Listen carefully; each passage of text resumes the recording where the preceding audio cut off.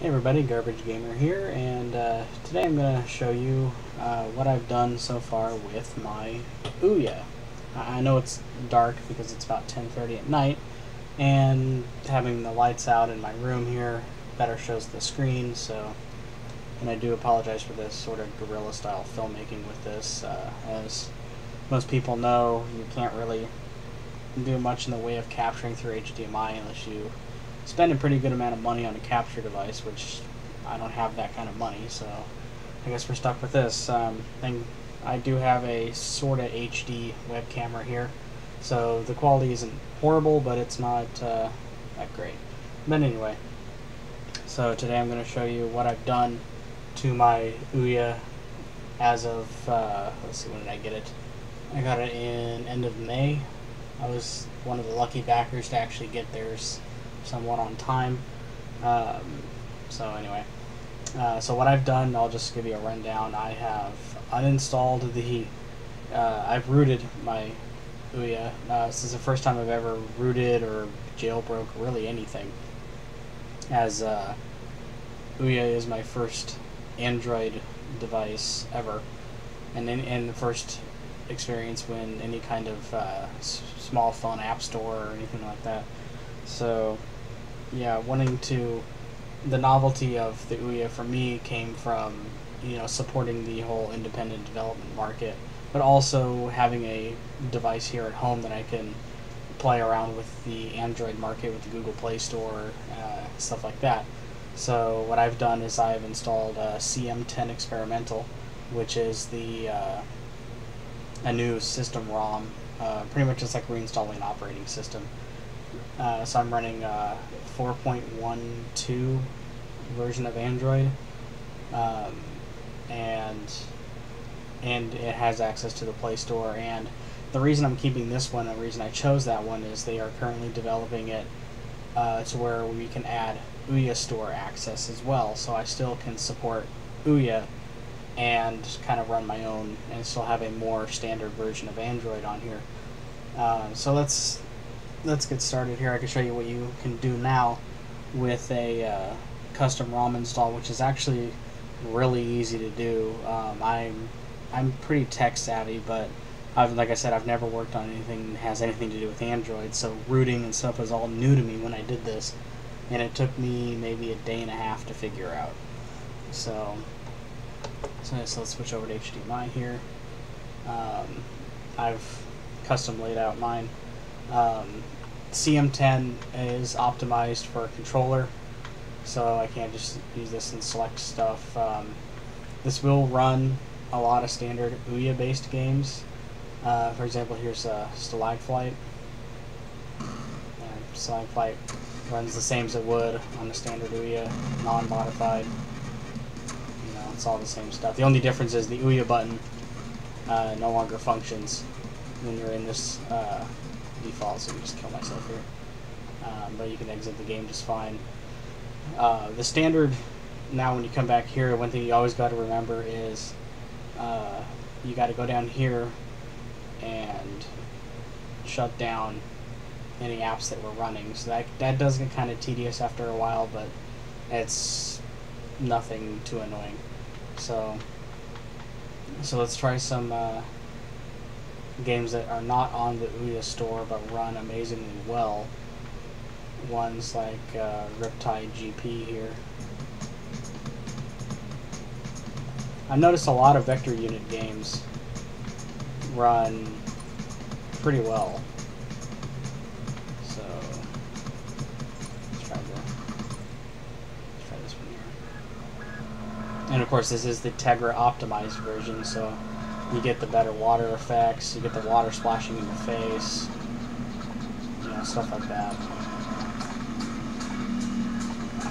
So the game runs, from what I've seen in videos, um, the game runs as it should. No slow down or anything like that.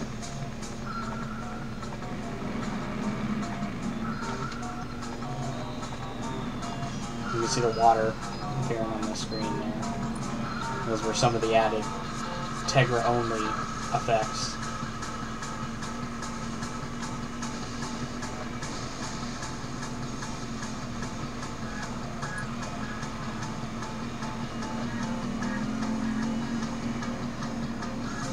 so that's that's Riptide GP there.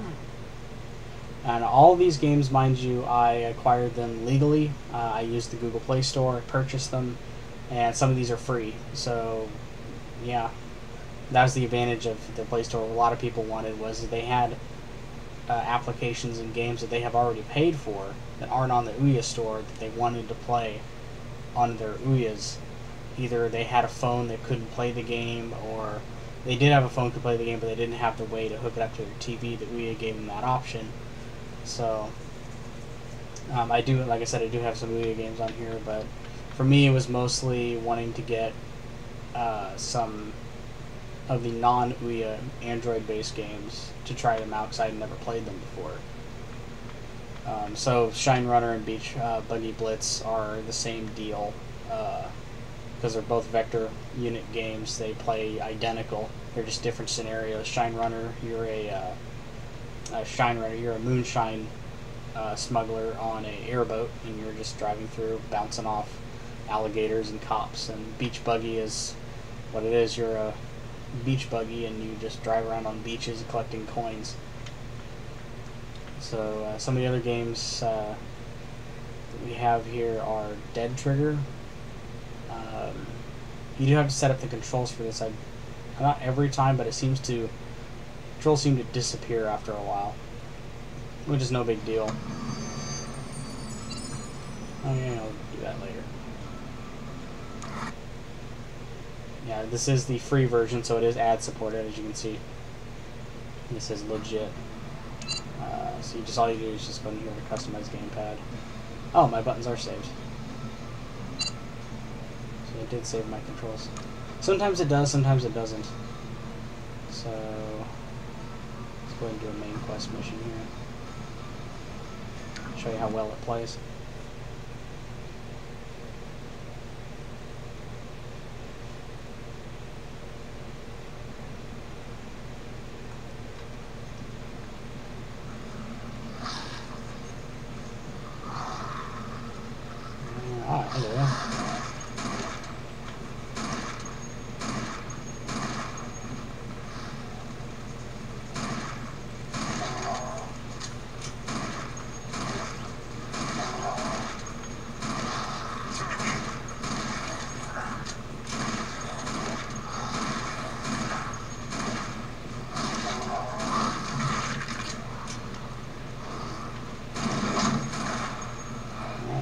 open. Got here. Ow! Step it. as you can see, the game runs really well here.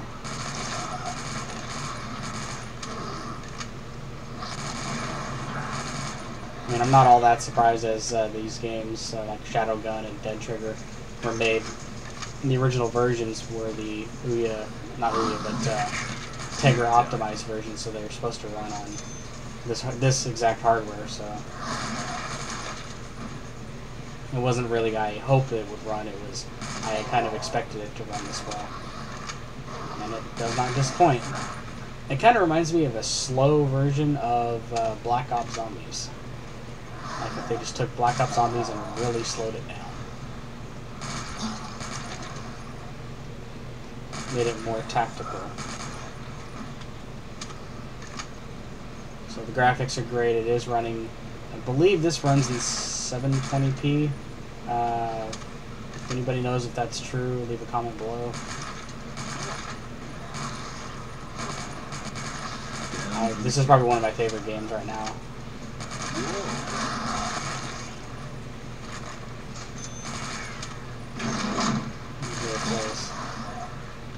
Very little setup, ready for some zombie action.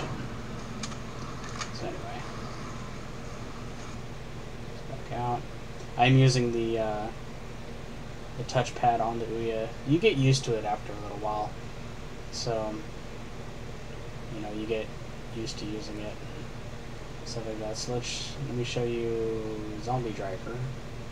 This is another Tegra optimized game. This one actually I got off the Tegra Zone.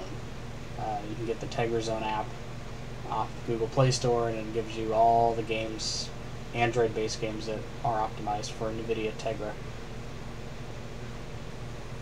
So, and this game runs flawlessly. I didn't even need to set up the controls for this. It literally just worked right out of the gate.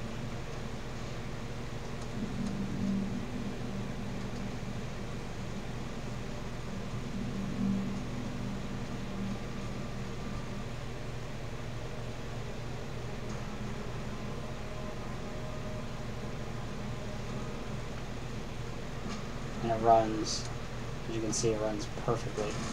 No slowdown whatsoever.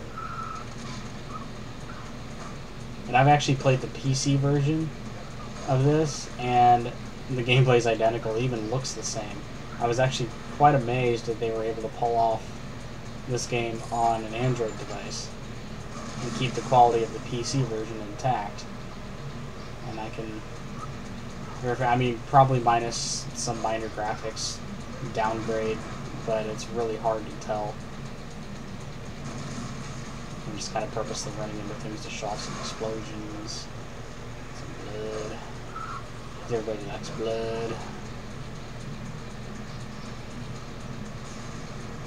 Fat guy, there we go.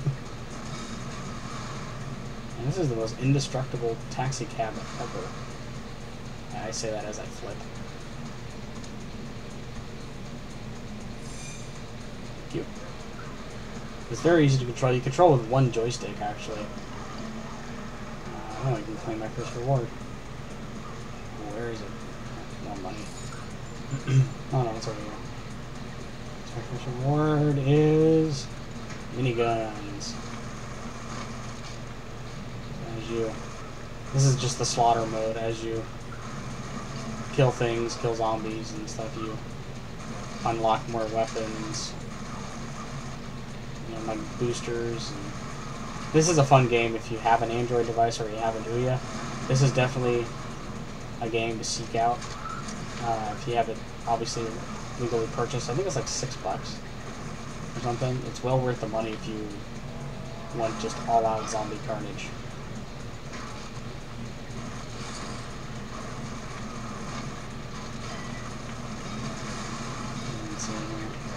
So yeah, so that's uh, Zombie Driver THD.